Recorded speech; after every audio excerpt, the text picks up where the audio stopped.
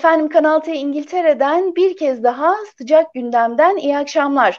Son günlerde Türkiye gündemi adeta ekonomik bir depremle sallanıyor. Dövizin son birkaç gün içindeki hızlı artışı, para piyasaları ve altın için salı gününden beri tüm sektörler adeta alarma geçmiş durumdalar. Bu akşam merak edilenleri konuşacağımız bir konuğum var hemen yanımda. İzmir Katip Çelebi Üniversitesi İktisadi ve İdari Bilimler Fakültesi İktisat Bölümü öğretim üyesi Profesör Doktor Sayın İbrahim Attila Acar bizlerle birlikte.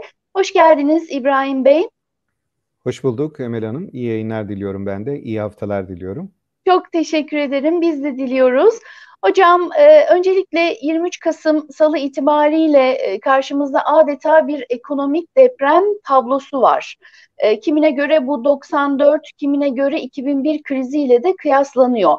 Her sektör kendi içinde de e, ayrı bir kriz yaşıyor tabii e, son günlerde. İthalat başta olmak üzere pek çok e, satış durduruldu.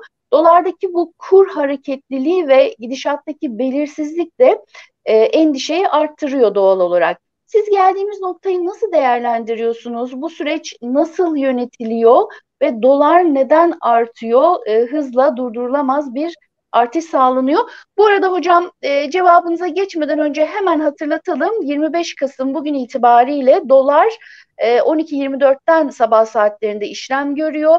Euro 13.48, sterlinde 15.91 diye de izleyicilerimize hatırlatmış olalım. Buyurun hocam.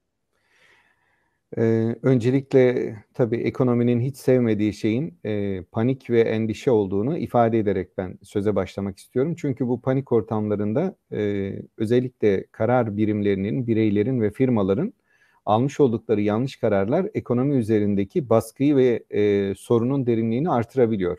Mesela e, bir anda marketlere yönelen insanların marketlerdeki mallardan evlerine stok yapmaya kalkması demek marketin de kendi e, çapında bir takım e, kısıtlara ulaşması demek oluyor. Mal tedarikinde sorunlar yaşanmaya başlanıyor. Mal tedarikinde yaşanan sorunlar e, kıtlık ve yokluğa bunlar daha fazla mal talebini ortaya çıkardığı için e, bu sefer acaba e, sorun büyüyor mu, derinleşiyor mu sorusu e, ortaya çıkmaya başlıyor. Bunları hep birlikte zaten kısa vadede görüyoruz. Bunun e, küçük bir örneğini biz e, 15 Temmuz sürecinde görmüştük. 15 Temmuz'da insanlar hemen e, köprüde askerler darbe yapmaya kalkıyorlar ama e, vatandaşlar benzin kuyruğunda, bankomatik e, kuyruğunda ya da marketlerden hemen bir şeyler alıp eve stok yapmaya çalışıyordu. Yani e, bunların örneklerini gördük. Tarih tekerrürden ibaret. Yani görüyoruz geçmişte de bu tip olayları çok şahit olduk. Şimdi benzeri bir durumu bugün de yaşama ihtimalimiz var ama bu e, bu süreç doğru bir şekilde yönetilirse bu süreci biz e, daha kolay atlatabileceğimizi düşünüyorum. Şöyle başlayalım o zaman. E, bir uluslararası piyasalardaki bir görünüm var. Bir de Amerikan Merkez Bankası'nın e, geçen aydan itibaren açıklamış olduğu varlık alımları konusu vardı. Şimdi buradan 2008 ee, krizinde e, Amerikan Merkez Bankası ve Avrupa Merkez Bankası'nın rezervleri 700-800 e, milyar civarındaydı. Biri euro, biri e, dolar olarak bunu bu şekilde rezervlere sahipti. Ancak 2008'in o sıkıntılı günlerinden sonra birden alınan önlemlerle 4 ile 5 trilyon dolar seviyesine ulaştık biz. Yani piyasada yoğun bir para bolluğu oluştu. Bunun anlamı piyasadaki varlıklar sabitken paranın çok artması bizim aklımıza hemen enflasyonu getiriyor. Otomatikman e, aradaki açığı biz mal ile kapatamayacaksak hemen bunu para bolluğu e, fiyatla telafi edilmeye çalışıyordu. Bu da enflasyon olarak karşımıza çıkıyordu. Şimdi e, o dönemin sorunlarında tabii desteklenmesi gereken firmalar, bireyler, e, bir takım kurum ve kuruluşlar bunlar vardı. Batan bankalar da vardı. İşte dünyanın sayılı bankalarından Lehman Brothers bile e, bu süreçten çok olumsuz etkilenmişti. Şimdi 2018 2008'deki bu süreç 2019-20 e, yani pandemi sürecinde bu sefer 10 kat artmış oldu. Yani 2008'deki 7-800 milyar e, dolar ya da euro ile başlayan süreç bu sefer 8 trilyon euro, 8 trilyon dolar seviyesine yükselmiş oldu. 10 kat arttı. Yani piyasalar korkunç bir para bolluğu içerisinde şu anda.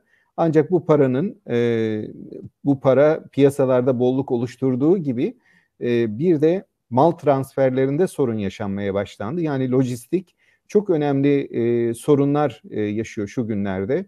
Özellikle mal sevkiyatı, ihtiyaçların doğru temin edilemeyişi, ham maddelerin yerine ulaşamayışı bunlar e, ekonomi anlamında önemli kısıtlar haline dönüştü. Tabii bir de geçen sene e, bu zamanlarda biz e, doları 55-65 e, bandında alıyorduk. Şu anda dolar 90 dolar oldu. Yani petrol 90 dolara e, çıktı. Petrolün bu kadar yükselmesi %50 oranında bir e, maliyet unsuru olarak karşımıza çıkıyor. E, ülkeler de e, bu süreç içerisinde bu kadar dünyadaki değişkenler içerisinde kendi pozisyonlarını ayarlamaya çalışıyor. Yani sadece e, petrole bağımlı sektörler ya da petrolün alternatifleri üretilebilir mi? Enerjide petrol dışı diğer alanlar kullanılabilir mi? Yenilenebilir, sürdürülebilir enerji mantığı da gelişmeye başladı. Şimdi biz e, bu süreçlerin hepsini görürken e, sadece e, olay para bolluğunun bir yansıması şeklinde önce böyle bir karşımıza çıktı. İşte Avrupa ülkelerinde ve Amerika'da bir enflasyonist süreç başladı şu anda. Yani biz enflasyonu e, Türkiye olarak ya da Türkler olarak e, şerbetliyiz bu konuda. Yüzde 60, 70, yüzde 100 enflasyonları gördüğümüz zamanlar oldu.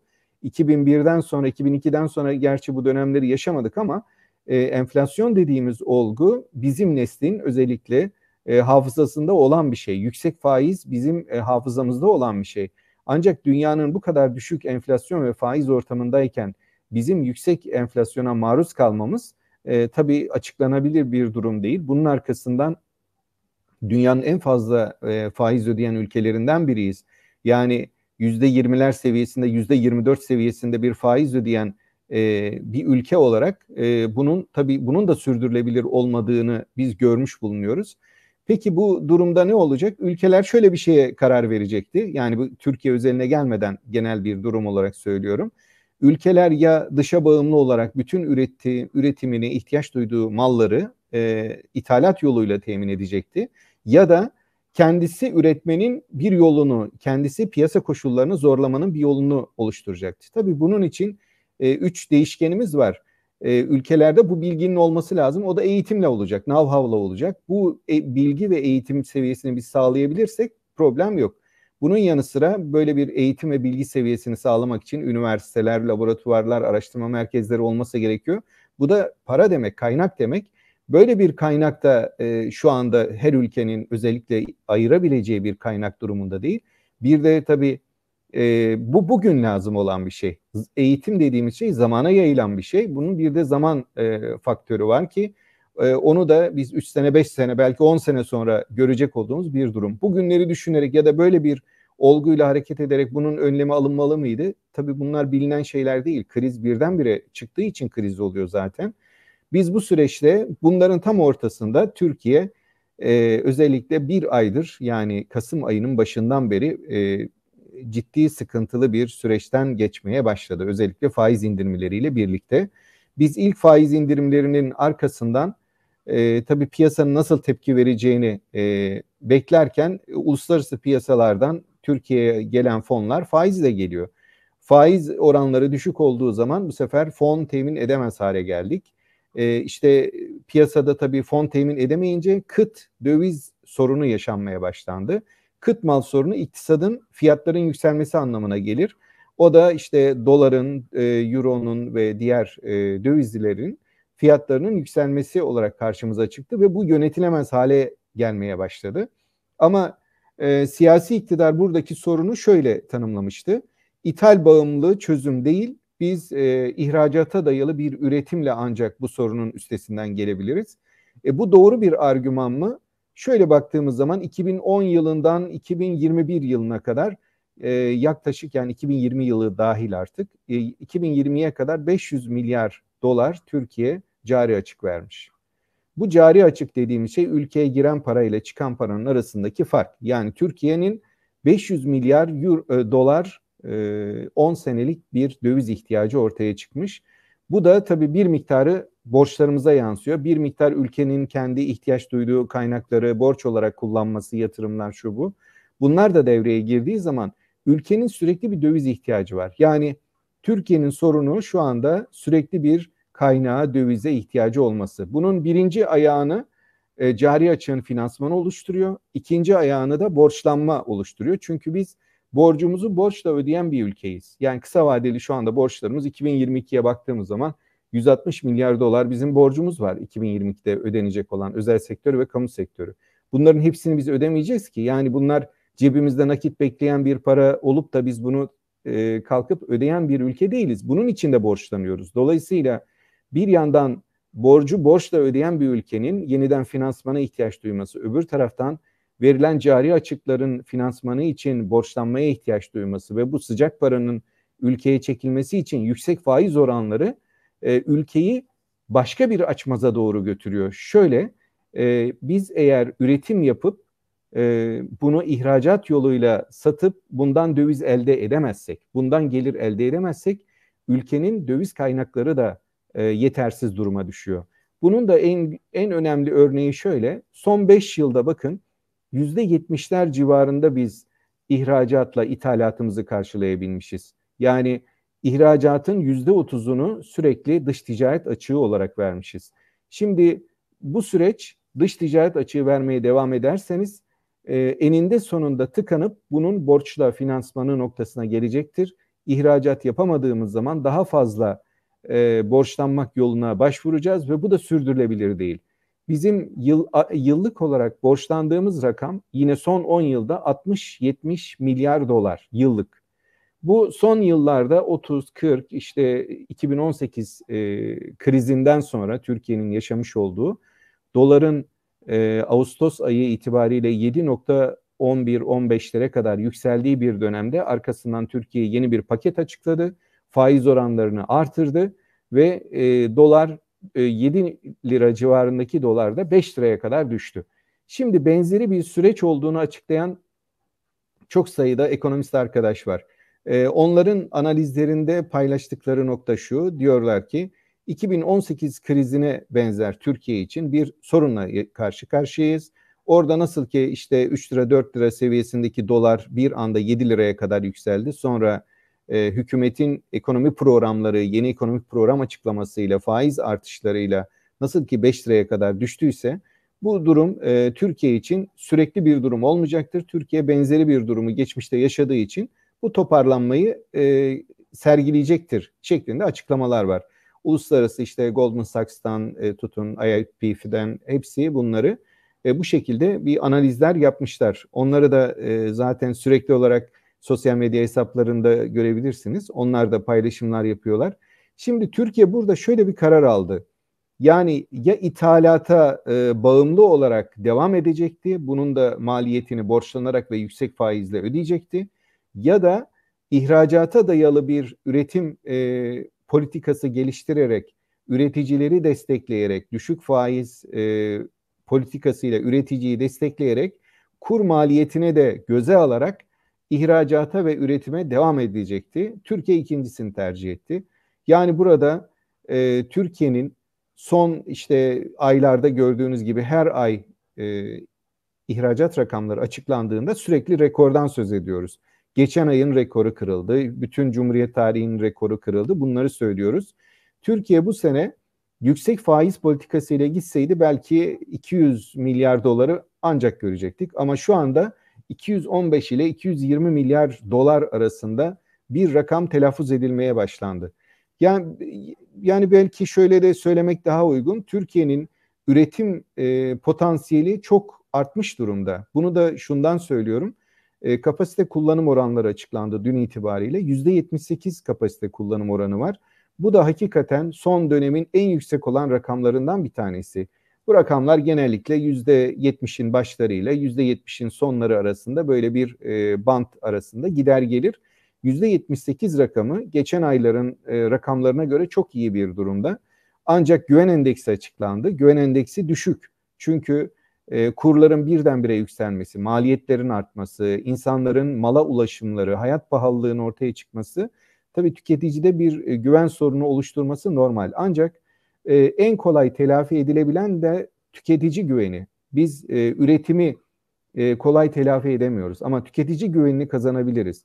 Bunun da sorunu ekonomide bir iletişim sorunundan geçiyor. Biz doğru bir ekonomi iletişimi geliştirebilirsek e, bu bütün süreçler hakkında ekonomi kurmayları, ekonomi yöneticileri düzenli ve sürekli açıklamaya devam ederse biz bu sorunun üstesinden gelebiliriz. Şimdi bakın 3 gün önce Merkez Bankası bir açıklama yapıyor. Diyor ki e, dolarda normal olmayan bir e, kur artışları var. E, fiyatlamalar normal değil, uygun değil, piyasa koşullarına uygun değil diyor.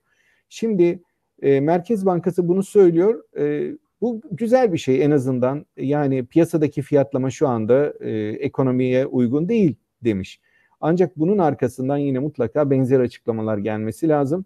Özellikle panik ortamıyla insanların marketlere, mağazalara yönelmesi, oradaki malları e, evde stoklamaya hazır hale gelmesi. Evet, parakende, parakende sektörü için iyi olabilir. Onlar kazanıyorlar, onlar mutlu olabilirler ama e, insanımızın bu panik e, hali de e, ülkede e, mala ulaşamama, kıtlıkların yani bölgesel kıtlıkların oluşması anlamına da gelebilir.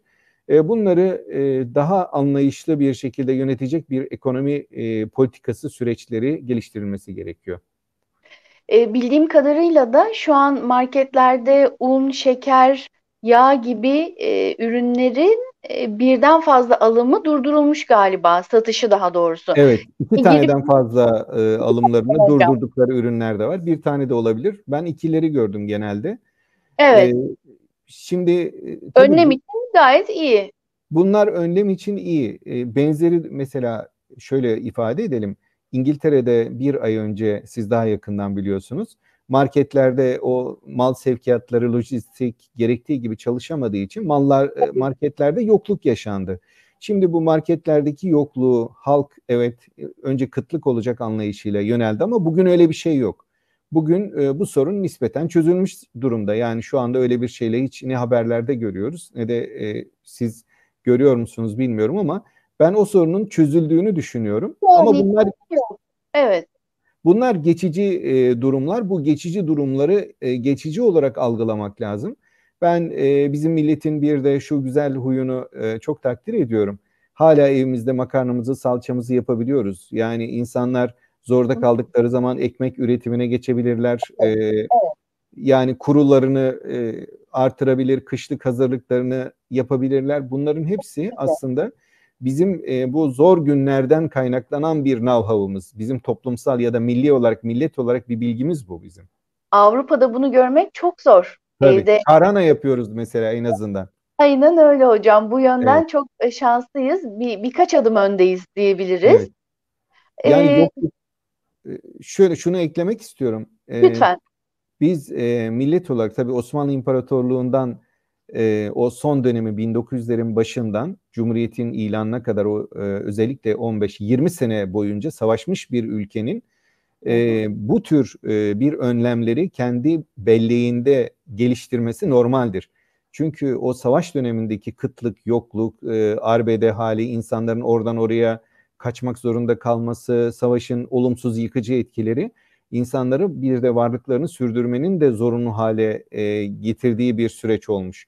Ve insanlar da bu e, sakladıkları, biriktirdikleri, depoladıkları ürünlerle e, kışlıklarıyla da kendi varlıklarını korumanın bir yolunu e, o zaman geliştirmişler. Bu bilgi birikimi hala da bize kadar intikal etmiş görünüyor. Kesinlikle daha da ilerleyecek gibi. Kesinlikle Hocam, tabii. E, özellikle pandemi süreciyle birlikte ev e, fiyatları arttı biliyorsunuz. Kiralar e, çok Art, yüksek evet, evet. E, rakamlara ulaştı. Market zincirlerindeki fahiş fiyatlandırmalar, teknolojik e, ürünlerdeki inanılmaz yükselişler ki bu son hafta tabii çok daha fazlasını gördük. E, derken vatandaş tabii nereye elini uzatsa geri çekmek zorunda kaldı, kalmaya da devam ediyor. Bu son evet. bir yıldaki e, fazla dalgalanmayı pandemiyle ilişkilendirmek doğru mudur yoksa hani bu sadece e, pandemi sadece bu sürecin artçısı diyebilir miyiz ve e, e, siz demiştiniz ki bir yayınınızda en yüksek faizler bizde, en yüksek kur, e, TL değer kayıpları bizde evet. demiştiniz. E, nasıl bir tutum izlenmeli bu saatten sonra? Yani önemli olan bir de tabii vatandaşın cebindeki parayı da arttırmak. E, bunu nasıl evet. sağlayabiliriz? Bu pandemi de devam ediyor biliyorsunuz. Nasıl evet. bir e, yakın gelecek görüyorsunuz? e, şimdi geçen sene Mart ayında Türkiye kapandığı zaman e, biz bir çalışma yapmıştık. TÜBİTAK'a proje olarak sunduk. Pandemi ekonomisi adı altında pandeminin olası etkileri ve bunun çözüm önerilerini tartıştığımız bir çalışma yaptık. Bu çalışmayı sonra kitap olarak bastık, yayınlandı. Hı hı. E, şimdi aslında biz e, bu kadar e, derinleşecek bir e, krizi e, bekliyorduk. Yani o gün için e, 6 ayda e, biter. İşte Mart e, dönemindeyiz şu anda. Yaza bir şey kalmaz. Nezle gibi bir şey bu diyenlerin aksine e, bu sürecin işte İspanyol gribi ile kıyaslamasını da yaptıktan sonra işte onlar 1915'lerde falan e, insanların 50 milyona yakın insanın e, bu bu şekilde hayatını kaybettiği bir süreci analiz edince e, Türkiye'deki bu sürecin en az iki yıl devam edeceği konusunda biz arkadaşlarımızla hem fikir olduk ve çalışmalarımızı bu yönde yapıp bu yönde bir e, araştırma geliştirmiş olduk. Şimdi e, o günkü öngörülerimiz e, bugün çıkıyor. Keşke çıkmasa, keşke biz haksız çıksaydık. Yani bu süreç iki yıldan önce sonuçlanmaz dedik. Şimdi iki yılın e, ekonomik hayata, üretime özellikle etkisi ne olacak? Üretime etkisi sanayi üretimini sürdürebilirsiniz. İmalat sanayi burada devam edebilir. İmalat sanayi e, Avrupa'da da Türkiye'de de ekonominin yüzde yirmisidir, beşte biridir. E, ama hizmetler sektörü yüzde altmışıdır, yüzde elli altı şu anda Türkiye'deki oran. E, Avrupa'da da böyle. Yani hizmetler sektörü dediğimiz restoranlar, eğlence yerleri, kafeler, barlar, e, turizm sektörü bunların hepsi hizmetler sektöründe yer alıyor. Bu, dolayısıyla pandemiden ilk etkilenen ve kapanan yerler bunlar oldu. Toplumun çalışanlarının e, yarıdan fazlasının hizmet sektöründe olduğu bir ortamda biz e, bu işletmeleri kapattık. Türkiye olarak kapattık, dünya da kapattı zaten. Ondan dolayı biz e, turizm gelirlerinde mesela 2020 e, turizm gelirleri 40 milyar dolar civarında bir beklenti vardı. 2021 için 50 milyar doları hedefliyorduk. 2023 hedeflerini de e, buna yönelik olarak işte 50 milyar 60 milyar e, dolar seviyesinde bir turizm geliriyle sürdürmeyi planlamıştık. Ancak bugün gördüğümüz şu ki 2020'de 15 milyar, 2021'de 25 milyarlık bir gelir olursa bizim bir senede beklediğimiz geliri hemen hemen işte iki senede ancak sağlamış olacağız. Bunun da önemli bir e, döviz kaybı olması bizim için cari açıkta ve daha fazla borçlanmamızı zorunlu kılacak bir durum olarak karşımıza çıkıyor. Şimdi bu borçlanma kısmını çok e, baş tarafta söylediğimiz için buradan şuna getirmek istiyorum sözü. E, Türkiye üretmek zorunda. Türkiye daha fazla e, gelir elde etmek zorunda olan bir ülke. Ancak bu pandemi sebebiyle kapandığımız için bazı süreçler yavaş gelişmedi. Bazı süreçler birdenbire gelişti. Yani işsizlik birdenbire artmış oldu. İşletmeler birdenbire kapılarına kilit vurdular, e, faaliyetlerini durdurdular, üretim yapamaz hale geldiler. E, bunların da olumsuz yansıması şu oldu. E, bu arada enflasyon ve faiz ve hayat pahalılığı ve konut ihtiyacı devam etti. Bu arada insanlar çok fazla hareket edemedi. Şimdi biz e, bir buçuk sene sonra normalleşme sürecine girdiğimizde karşımıza çıkan sorun birdenbire o birikmiş e, birikintiyi birdenbire karşımızda gördük. Konut ihtiyacı birdenbire çıkmış gibi oldu. Çünkü iki sene boyunca üniversiteler kapalıydı. Üniversiteler açılmaya başlayınca öğrencilerin konut talebi birdenbire arttı. Ama önceden bu konutlar boş kalmadı ki. Bunlarda da iyi kötü yaşayan insanlar oldu. Boş kaldı bir iki ay sonra başka birine kiraya verildi falan. Ama e, üniversite öğrencileri, şehir değiştirenler, e, konaklamak için bir yerden bir yere giden giden e, vatandaşlarımızın konut talebi mevcut ihtiyacı daha fazla arttırmış oldu. Yani çünkü bir buçuk sene o konut beklemedik, bir başkasına kiraya verildi. Aynı konuda e, kira olarak talep etmeye gelen öğrenci bu sefer e, o konudu bulamadı. Bulamadığı için daha yüksek fiyatlar oluşmaya başladı. Kıt mal teorisi yine burada da çalıştı. E, binalar, ihtiyaçlar daha fazla artmış oldu. Öğrencilerin talepleri bitmedi. Onlar da eksilmedi. Onlar da mal aramaya, e, konut aramaya devam ettiler. E, tabii bir de genç nüfusumuz var. Evet. E, pardon.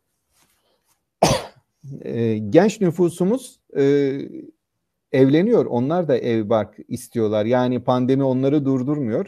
E, sonuçta öyle bir durumdayız ki e, Türkiye'nin mesela bugün konut stoğu 1 milyon civarında sıfır konutu var. 1 milyon civarında. Bu konutun eritilmesi lazım.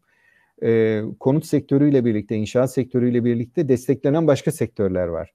E, burada oluşturulan istihdam var. Buradaki istihdamın satın alma gücü var, talebi var. Bunların da aileleri var. Yani e, bizim bahsettiğimiz konut ihtiyacı ya da konut pahalılığı sorunu sadece nihai ürün olarak bir konut değil. Onun arkasında çok büyük bir e, istihdam var. Onun arkasında çok büyük projeler var. Şimdi Türkiye'nin hem bu kadar e, 1 milyon hazır, satıma hazır konutu varken e, üstüne bir de bu kadar talebin olması, fiyatların da çok yüksek olması erişilebilirliğe mani oluyor. Yani o da nereden kaynaklanıyor? Herkes girdi maliyetlerini söylüyor şu anda. İşte dövize bağlı bir takım üretimler yaptıkları için e, üretim de kesilmek bilmiyor ve sonuçta e, malların pahalılanması, konutların pahalılanmasıyla karşılaşıyoruz. Tabii şunu da e, yadırgamamak lazım. Bir tane konutu var, onun kira geliriyle geçiniyor insanlar. Yani o konutun gözünün içine bakıyor. Ondan daha fazla kira geliri nasıl elde ederim? Hayat e, standartımı, refahımı nasıl artırabilirim? Bunu evet, düşünüyorlar. Hocam, hocam burada aslında şunu da şunları da denetlemek gerekmez mi? Yani emlakçılar, emlak sektöründe e, inanılmaz e, dalgalanmalar yaşatabiliyorlar. E, bir semtten semte değişiyor, evden eve değişiyor ama e, son böyle pandemiyle birlikte e, biraz da göçle birlikte belki bu kiralardaki fahiş fiyatlandırmayı e, biraz da uzmanlar aslında emlak sektörüne de emlakçılara da bu sektöre de bağlayabiliyorlar. Çünkü inanılmaz boyutta rakamları değiştirebiliyorlar. Doğru. Burada da bir oynama yapılıyor maalesef hem alım satımda hem kiralamada. E, bu yüzden de vatandaş oldukça e, zaten e, gelir e, alım gücü ortada. E, şu son günlerde geldiğimiz nokta ortada. Bir de kira artışları. Zaten ev almaya herhalde artık krediler e, ne durumda olacak şu an belirsiz. E, bununla ilgili de böyle bir iki cümle e, söylerseniz hocam hemen son soruya geçeceğim. E, birkaç dakikamız kaldı çünkü. Tamamdır. Kredi ee, alsın vatandaşlar yine ev alımları için e, başvuru yapsınlar mı? Şu an bankalar ne durumda? E, şimdi bankalardan başlayalım sonda. Türkiye e, şüpheli alacaklar ve takipteki alacaklar konusunda e, dünyada sayılı e, az olan ülkelerden bir tanesi. Yani bizim e, şüpheli ve takipteki alacaklar limitimiz yüzde üç beş aralığında. Bu rakam çok uzun yıllardır yüzde üç. Yani e, bankalar bu anlamda güçlü, e, kredi verirken kılı kırk yarıyorlar ve sonuçta doğru bir e, fiyatlama, doğru bir e, müşteri kitlesine ulaşabiliyorlar. Bankalar, e, bankalarda para var. Çünkü bankalar bir de karlılıklarını açıkladı biliyorsunuz geçen ay itibariyle. E, bankaların karlılıkları daha fazla onların kredi vermeye müsait olduğunu da gösteriyor. Şimdi burada faizler düşerken e, piyasadaki bu fiyat dalgalanmaları, gerçekçi olmayan fiyat oluşumları özel sektör bankalarının da e, bu sürece ayak uydurmasını güçleştiriyor. Evet kamu bankaları bunda e, bir takım öncü olabilir. Fiyatları önden götürebilir, önden e, indirimler yapabilir, daha uygun bir e, banka kredilerini açabilirler. Ancak özel sektöründe bu sürece bir an önce dahil olması ekonomiyi daha rahatlatacaktır. E, bu konu itibariyle bakmak lazım. E, ama şu emlakçıların gerçekçi olmayan e, fiyat oluşumlarına katkı sağlaması çünkü onlar da e, oradan komisyonlarını aldıkları için fiyat ne kadar yüksek olursa onların komisyonu da o kadar yüksek oluyor. Hı hı. Tabii e, bunların denetlenmesi, bununla ilgili çeşitli son yıllarda düzenlemeler oldu. Gayrimenkul sertifikası olmayan kişilerin, e, değerlendirme sertifikası olmayan kişilerin emlakçı olmaması ile ilgili, onlarla ilgili bir takım e, değerlendirmeler ve eğitimler şart getirilmeye başlandı. E, bunlar e, piyasalardaki bu e, karamsar ve belirsizliği ortadan kaldıracağını düşünüyorum. Yani şu anda evet ekonomi anlamında bu belirsizlik ortamında bir ekonomik faaliyet çok anlamlı olmayabilir. Çünkü insanlar yarın pişman olacakları bir şey de yapabilirler. Ancak her şey biraz öngörü, biraz fırsat, biraz da kişilerin kendi tercihlerine bağlı olduğu bir süreçten geçiyoruz. E, banka kredileri düşecek düşecek. Peki son olarak hocam e, sürenin de sonuna geliyoruz. Geldiğimiz noktada yarının belirsizliğinden ve bu bahsettiğimiz hayat pahalılığından dolayı e, dünden pahalı yarından ucuz diyorum ben bu e, evet, şu an içinde olduğumuz sürece. E, yakın gelecekte bizim neler bekliyor diye sormak istiyorum ama yakın gelecek de çok uzak geliyor. E, çünkü yarını evet. bilmiyoruz. Ama en azından e, insanlara, bizi izleyenlere şu günlük yaşantılarında e, ve yatırımlarında kısaca neler tavsiye edersiniz? Özellikle altınla ilgili de çok merak ediliyor tabii. Evet. E, şimdi altın e, ons fiyatı tabii bütün dünyada 1800 dolarlar seviyesinde ama e, doların Türkiye'de altının satın alınması dolara bağlı değil TL üzerinden olduğu için doların da pahalılanması, fiyatının artması e, altın fiyatlarını 760-770 TL'ye kadar yükseltti. Bugün kaçta bilmiyorum 710'larda olabilir. E, yani dün itibariyle belki satanlar 760'tan satmış olabilirler. Onlar da e, çok karlı. E, bir hafta içerisinde insanların 100 lira yani yani %15 kazandıkları bir e, süreçten geçtik biz. E, özellikle bu altın sürecinde.